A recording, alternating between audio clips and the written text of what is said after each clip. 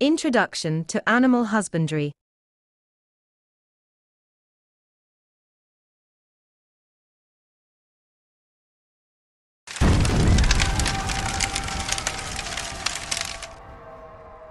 Thirteen thousand years ago, the world entered the Neolithic Revolution, otherwise called as Agricultural Revolution.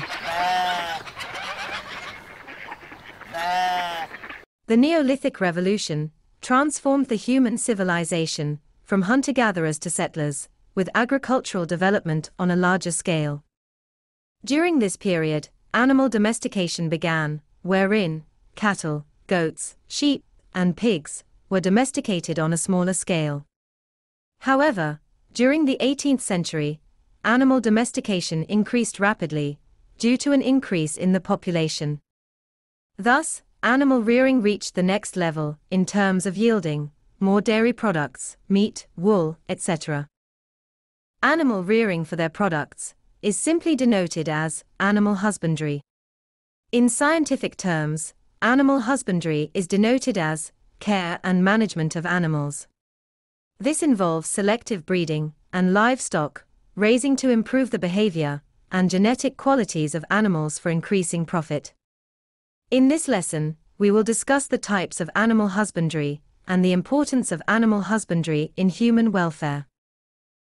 Animal husbandry Most of the world population depend on agricultural produce for their nutritional requirements. It includes rice, maize, grains, etc. However, an increase in the population has led to the demand for milk, eggs, and meat. To meet the growing demands, more and more animals are being bred commercially. Therefore, they require a lot of attention and care. Animal husbandry implicates the management of animals and breeding for large scale businesses.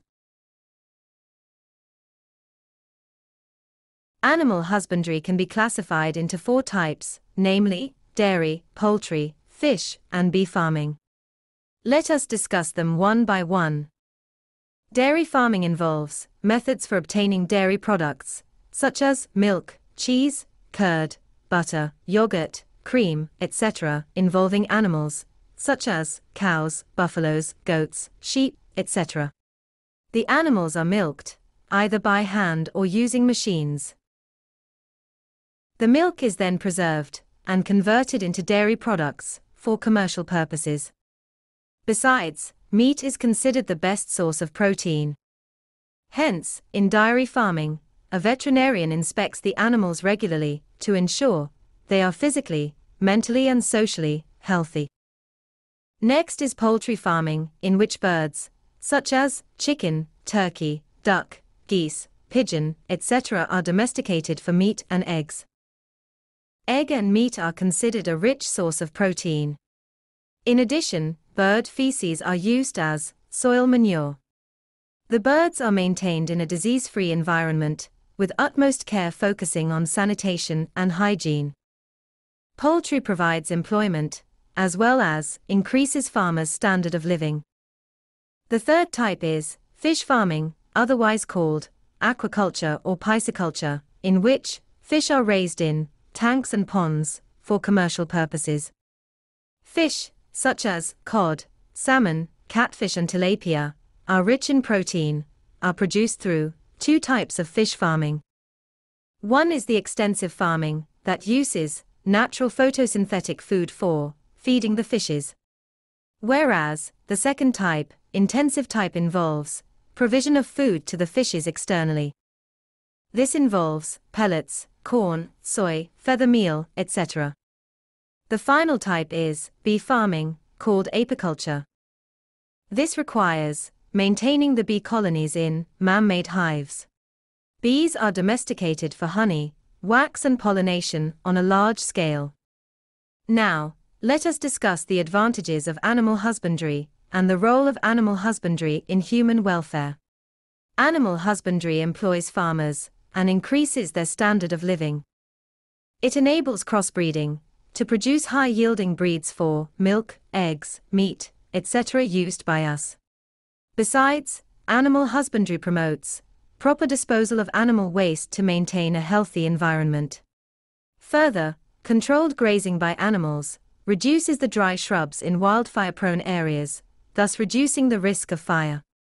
The excreta, bone, and blood of animals can be used as manure to increase yield and production in agriculture. Also, animals are used as non human labor for plowing, transportation, and even for military functions. Conclusion Animals have been an inevitable part of human life since the Neolithic period that began around 10,000 BCE.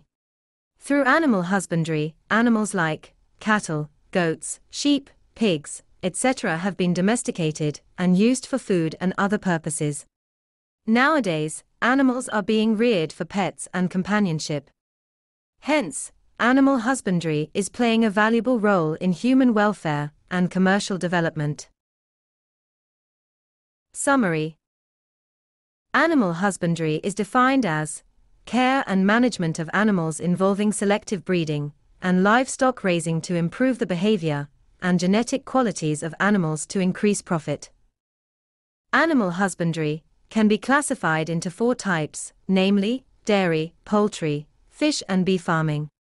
Dairy farming involves methods for obtaining dairy products, such as milk, cheese, curd, butter, yogurt, cream, etc., involving animals, such as cows, buffaloes, goats, sheep, etc. Poultry farming involves domestication of birds, such as chicken, turkey, duck, geese, pigeon, etc., for meat and eggs. Fish farming, otherwise called aquaculture or pisciculture, in which fish are reared in tanks and ponds for commercial purposes. Bee farming, called apiculture, requires maintaining bee colonies in man made hives for honey, wax, and pollination on a large scale.